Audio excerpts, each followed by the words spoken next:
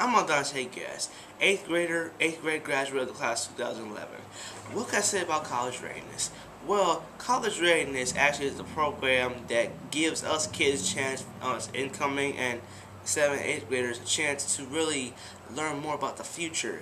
See, the study says that kids need to learn more about college and their careers in fifth grade rather than high school.